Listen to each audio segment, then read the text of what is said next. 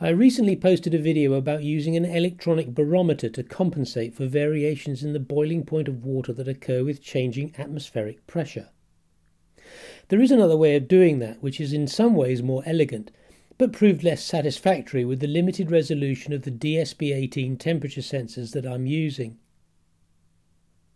The flash boiler steam generator that I use produces steam that's slightly superheated, but by the time it gets to the inlet to the distillation column, it is at the boiling point of water. You can tell this because of beads of condensation that are visible on the inside of the silicon tube conveying the steam. That means that you can insert a small piece of copper tubing which is thermally connected to a temperature sensor close to the inlet to the column, with a short piece of silicon tubing between that and the column so that its temperature is not altered by conductivity from the slightly lower temperature of the bottom of the column. So in this setup, temperature A represents the boiling point of water at atmospheric pressure. Even better, at the current pressure inside the bottom of the column, which is slightly above atmospheric. Temperature B is the boiling point of the column bottoms, which will be slightly lower by an amount dependent on its alcohol content. Now all you need to do is fix the target temperature B a small amount below temperature A and atmospheric pressure compensation is automatically achieved. I have tried this and it works, but it gives a significantly less stable control parameter than a single temperature sensor compensated by atmospheric pressure measurement. That is because of the demands that this system places on the precision of thermometers. The temperature difference that we're targeting is a fraction of a degree. I've been using 0.3 degrees Celsius.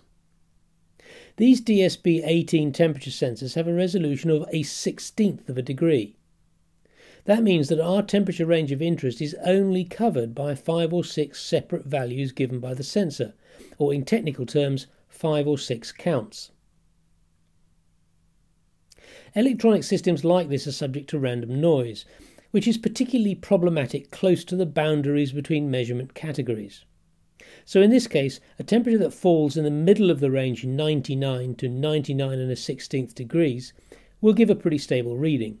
But when that temperature approaches the boundary between the adjacent 99 and a 16th and 99 and an eighth readings, the readings will flicker randomly between the two.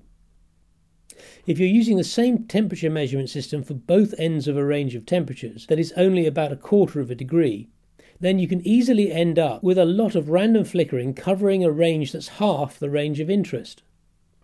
Using only one such temperature sensor is not ideal, but at least this flickering affects only one side of the range's measurements, the other being calculated from the atmospheric pressure measurement, which is measured with much higher resolution. The BMP 180 has an output resolution of 0.01 millibars, which gives about 6,000 counts over our range of interest. I haven't taken this any further, but you may be minded to, in view of a potential advantage that this control system has over the festoon of temperature sensors that I use along the column to measure the length of the isothermal section. Commercial columns do not come with this festoon, and so it would have to be added, which is at best inconvenient. In principle, the bottom temperature could be used as a sole control parameter, allowing a system to be built that could then assess and use any commercially available column without modification. But to do so, you would need much more precise temperature measurement. The counts number is a key parameter in electronic test equipment. Broadly, every time you add a naught to the counts, you also add a naught to the price. For example, digital multimeters costing 10 to 30 dollars have counts of between about 4 and 6,000. That means full range deflection is covered by 6,000 discrete steps. A fancier meter with a count of 50,000 is likely to cost about $500, and a really high precision one with a count of over a million will cost $2,000 or more. The same relationship between counts and price is seen in digital thermometers, weighing scales, etc. The reason high count machines are so expensive is not specifically because of the number of counts, but because of the implied linearity. If you have a meter that will measure 10 volts to the nearest millivolt, that implies a count of 10,000. For that resolution to be useful, it should be accurate to the nearest millivolt, or at least a couple of millivolts. There's no point having 10,000 counts if it's only accurate to the nearest tenth of a volt, because the final two digits will be meaningless and misleading. So a voltmeter with a million counts not only measures a voltage from 0 to 1000 to the nearest millivolt, but the nearest millivolt will be accurate. That demands far better linearity than measuring a few hundreds of millivolts to the nearest millivolt. Commercial digital temperature sensor systems are available that will measure to hundredths or even thousandths of a degree centigrade, but they are prohibitively expensive. We don't need an instrument that measures temperatures from 0 to 100 to 1 millidegree with a corresponding count of 100,000. We only need a system that measures over a range of 1 degree with a count of 1,000 or so, a much more modest demand. The problem is that there isn't much market for instruments of that type, and so they cannot be cheaply purchased. That means designing it from the ground up using generic parts. Actually, there is an application for this kind of low difference, high resolution temperature measurement, and it's found in thermal detectors for gas chromatography machines. But as you can imagine, those are not things you can buy off the shelf for a few dollars. What you can buy off the shelf for a couple of dollars are platinum resistance temperature sensors. Physically, they have the temperature responses we need. We just need the right electronics. You can wire them up as a Wheatstone bridge like this and use an inexpensive millivolt meter to measure the voltage across the bridge.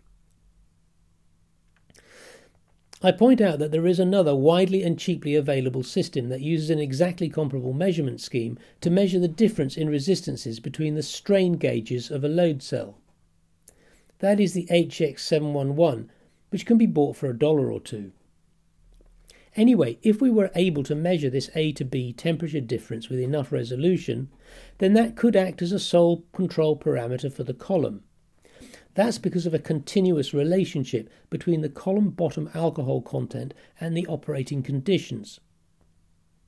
When a column is weeping, the bottom alcohol content will be high and the temperature difference large. When a column floods, the bottom alcohol content will be low and the temperature difference small, and the optimal point will lie between these two. So for a specific wash flow rate, it should be possible to plot a relationship between the bottom temperature difference and the product proof. Once that relationship is plotted, an optimal point can be found and used as a control target. If I ever get this working in the future, I'll let you know. In the meantime, if you gain any experience with this kind of scheme, then please let me know.